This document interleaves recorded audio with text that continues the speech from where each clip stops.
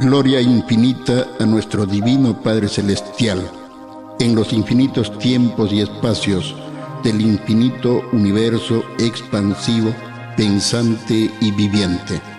Y en la tierra paz a los hombres y mujeres de buena fe y de buena voluntad para amar y servir en espíritu y en verdad al único Dios viviente que da y quita la vida Estimadas hermanas y estimados hermanos, vamos a ver y admirar una parte de la infinita y maravillosa creación del divino autor de la vida y supremo creador del infinito cosmos sideral.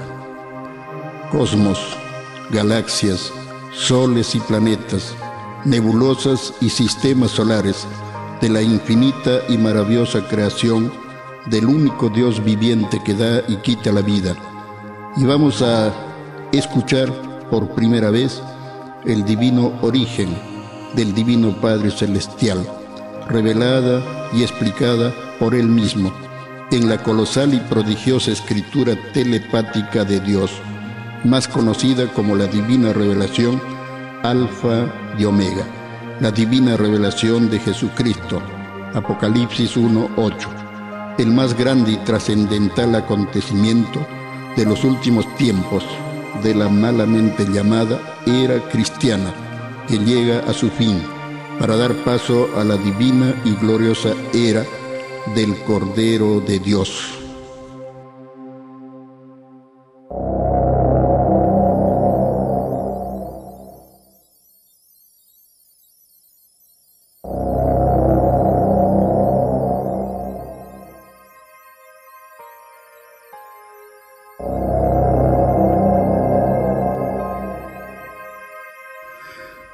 Desde los lejanos soles Alfa y Omega de la galaxia Trino del macrocosmos y desde todas partes del infinito cosmos sideral, el Divino Padre Celestial nos dice, en este mundo de pruebas relativas, en donde los espíritus reencarnados están cumpliendo sus pruebas espirituales y materiales, con olvido momentáneo de sus pasados galácticos, Millones y millones de espíritus humanos se han preguntado y aún se preguntan, ¿quién es Dios?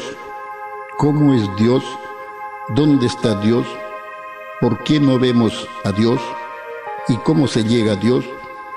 Y los más atrasados y poco evolucionados en las leyes espirituales preguntan, ¿de dónde salió Dios? Y el Divino Padre Celestial, en su infinito amor y bondad, y en su divino libre albedrío de Padre Creador, revela y explica la divina interrogante, y lo hace con fe y humildad, con ciencia y moral, con verdad y justicia, y con infinita sabiduría de Padre Creador. Nos revela y nos explica su divino origen, su divina existencia, su divina identidad y su divina eternidad, para que los seres humanos entendamos y comprendamos la existencia de un Dios verdadero, el Divino Padre Jehová de los ejércitos, el que fue, el que es y el que será eternamente, de eternidad en eternidad dice Dios, el Divino Padre es de toda eternidad. Primero estuvo el Padre y después la eternidad universal.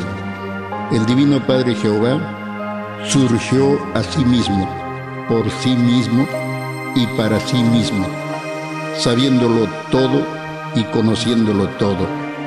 Mi divina identidad asombrará al mundo soy el infinito creador de todo cuanto existió, existe y existirá. La expansión del universo es producto de mi divina herencia.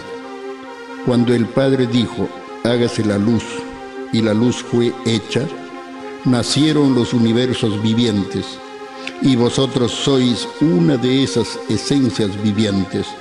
Mi divina herencia es divino fuego, del que ha salido todo el universo viviente y expansivo. Y vosotros, hijos terrenales, sois hijos del eterno fuego, y retornaréis al fuego. Vuestro divino Padre Jehová ve el futuro y el destino de los mundos, desde antes que los mundos y soles surjan a la vida material. Soy el obrero número uno del universo. Soy infinito y eterno. Y las criaturas, planetas, galaxias, cielos y estrellas son infinitos en tamaño y en filosofías. Mi divina vibración de Padre Creador está en todo y en todos. Soy el todo sobre el todo, del todo infinito y expansivo. Por mi divino amor y poder, estoy en todos mis hijos, sin que ellos se den cuenta.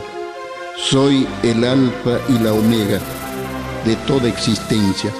Mis divinos mandamientos contienen la divina luz de amor y verdad para engrandecer a todo espíritu en una sola y divina filosofía de amor universal, pues todos son iguales en derechos ante mí.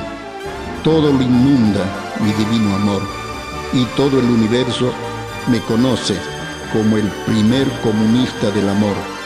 Y todo aquel que desee ser salvo deberá leer, estudiar y profundizar la divina ciencia celeste porque es el complemento de las sagradas escrituras. El Divino Padre se vale de la divina escritura telepática para hacer avanzar a los mundos imperfectos del infinito cosmos. Hijos del planeta Tierra, por los acontecimientos que se avecinan, sabréis si la ciencia celeste es el fruto intelectual del Creador de la luz porque fue escrito, lo que es de Dios es de Dios, y lo que es de los hombres es de los hombres. Hijos que me buscáis por el camino de la verdad que conduce a Dios. Soy el divino autor de la vida universal. Soy el creador del espíritu y la materia. Soy el todo infinito y eterno. Y soy la nada viviente y relativa. Soy el todo sobre el todo, del todo infinito y expansivo, conocido y desconocido, comprendido e incomprendido. Soy el que soy. Mi divina individualidad es la eternidad misma, multiplicada por el infinito mismo, es decir, que para la limitada ciencia terrestre, yo, vuestro divino Padre Jehová, no tengo ni principio ni fin, pues para que mis infinitas criaturitas me comprendan, es necesario que nazcan de nuevo y recorran lo que yo ya recorrí hace eternidades atrás, pues solo con infinitas reencarnaciones logré llegar a ser lo que soy. Es por eso que soy el que soy es decir, que todos me conocen o me intuyen. Soy universal, como jamás lo ha sido nadie, pues de mí han salido todos, sin excepción alguna. Es la más pura y santa verdad universal, que todos debéis saber, conocer y comprender con infinita humildad. Sí, hijos divinos, Así fue, así es y así será eternamente, por los siglos de los siglos de toda eternidad conocida y por conocer, el alfa y la omega, el principio y el fin de toda forma de vida.